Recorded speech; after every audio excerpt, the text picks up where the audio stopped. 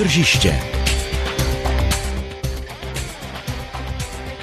Posloucháte pořad, ve kterém se potkáví velcí burzovní hráči s drobnými investory. Dobré odpoledne. Dnes jsem tradiční burziány vyměnil za někoho, kdo však paradoxně Wall Streetu díky svým dlouholetým zkušenostem z finančního biznesu nemá až tak daleko. daleko. Ve studiu je mi ctí přivítat ekonoma, pedagoga, člena Nervu a nyní především kandidáta na prezidenta České republiky Vladimíra Dlouhého. Vítejte. Dobrý den. Eh, když se řekne Wall Street, co vás prvního napadne? Tak napadne mě ta úzká ulička s tou sochou toho býka. Napadne mě, že vedle na Broad Street firma, pro kterou jsem 15 let pracoval, měla dlouho kancelář, ten posledních dvou letech jsme se přestěhovali eh, a samozřejmě napadne mě finanční sektor. Do čeho investuje Vladimír Dlouhý vaše osobní portfolio? Z čeho se skládá? Já jsem nebyl typický investiční bankéř, já jsem byl členem, nebo dosud jsem, končím teď v říjnu, eh, členem skupiny mezinárodních poradců, to znamená, já nejsem takový ten typický investiční bankéř, to znamená ani, dejme tomu, eh, prostředky a možnosti, které bych měl k nějakému rozsáhlému investování, nemám. Já jsem investoval do, některé, do různých akcí, eh, dokonce co se týče těch českých, tak to nedělám já, já ty peníze jako přináším a investuje moje manželka, tam má od pána Boha, byť není ekonom ekonomka, ale stavební inženýrka na to nějaký lepší čuch. Eh, investoval jsem trochu do jednoho nebo dvou nemovitostních fondů, kde ten druhý se až tak nepodařil, ale myslím, že nejsem jediný, který nevydělal na, eh, na nemovitostech ve střední a východní Evropě v posledních pěti letech. Eh, mám investice taky do nějakých nemovitostí, máme vlastní dům plus další dva menší domky tam, kde bydlíme. A to je zhruba všechno. Vy jste zmiňoval akcie, zmiňoval jste nemovitosti. V poslední době hodně investorů ztrácí víru ve finanční systém a říká, že to jediné, to pravé ořechové v portfoliu je zlato. Zlato a vaše portfolio? E, nemám žádné zlato ve svém portfoliu, ale od začátku já si myslím, že to neřeknu nic, žádné novinky. E, já jsem vždycky nechtěl mít takzvaně všechna vajíčka v jednom, v jednom košíku. Já spíš tak z těch důvodů svého um, původního vzdělání, kdy jsem matematický ekonom a zabýval jsem se různými matematickými modely v ekonomii, tak jsem třeba ze zájmem občas si študoval různé takové ty finanční modely, které my předkládáme potenciálně bohatým klientům, jak by mohli investovat a podobně. Já jsem v tom takový konzervativní. Asi kdybych měl prostě nějaké mnohem větší prostředky, možná, že bych také zkoušel investovat podle takovýchto modelů, ale já jsem konzervativní a moje žena taky, takže my spíš jako rádi investujeme do něčeho, co dost, na co vidíme. Pomůže člověku při investování, že má pracovní zkušenost u Goldman Sachs.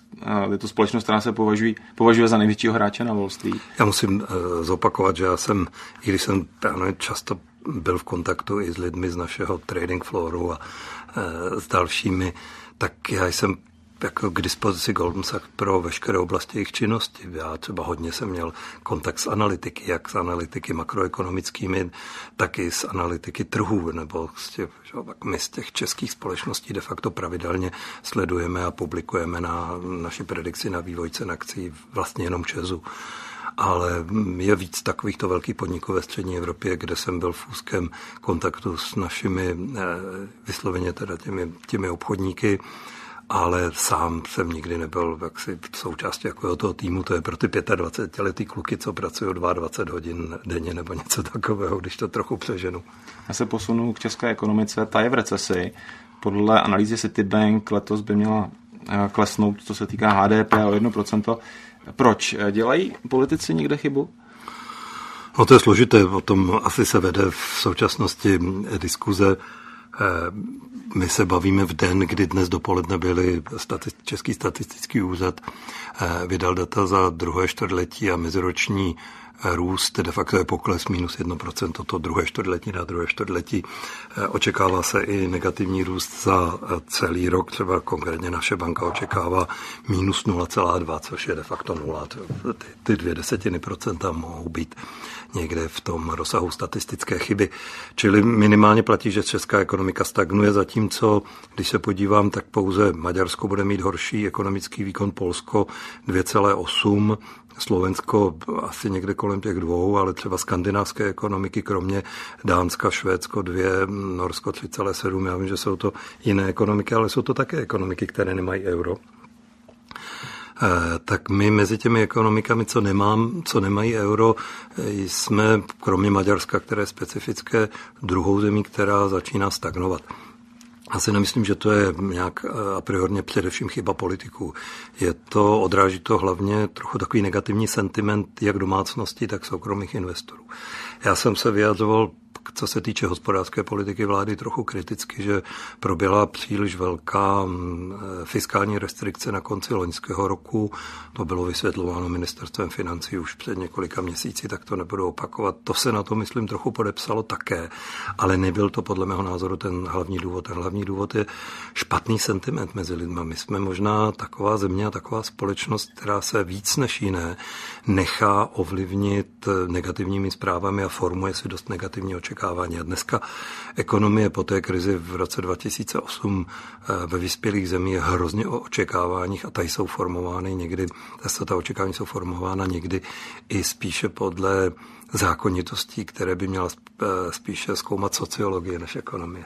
Co vůbec s ekonomikou zmůže prezident? Jaké vy máte plány s českou ekonomikou? Tak eh, já, já, jako ano, já jsem oznámil, že bych chtěl kandidovat. Nikdo z nás kandidátem dosud není. Kandidáti budou eh, teprve ti lidé, kteří budou zaregistrováni po 15. listopadu podle příslušného zákona ministerstvem vnitra a budou muset sebrat 50 tisíc podpisů, zaplať pámbu, zatím ten sběr mm, se dostal nějakou dynamiku, takže věřím, že se to povede, ale já se nerad zatím příliš veřejně eh, označuje za nějakého horkého kandidáta. Ostatně všichni víme, že jsou tady nějací favorité, ale to všechno může být zase na druhou stranu jinak. Prezident samozřejmě eh, nemá exekutivní pravomoci, eh, takže nemůže se příliš vyjadřovat konkrétně k hospodářské politice. A já začnu tím, čím jsem skončil na předcházející otázce. To je, že prezident může trošku mm, dávat lidem naději, že nemusí být tak zlé, že se máme daleko více spolehnout na to, co umíme, že nemáme se tolik nechat ovlivnit negativními zprávami, ať je to zvenčí, nebo ať je to třeba někdy pochopitelná deziluze z té politiky, že prostě lidi si musí říct, že jsme tady chytrý, schopní, vzdělaní a že bychom se měli víc polehnout na svoje síly. Ono to zní hodně neekonomicky, hodně tak jako obecně a neprofesionálně, ale já čím dál tím víc věřím, že v naší zemi to bude hodně o tomto následující dva roky. Hostem pořadu Tržiště byl Vladimír Dlouhý. Děkuji a naslyšenou. Naslyšenou a děkuji za pozvání.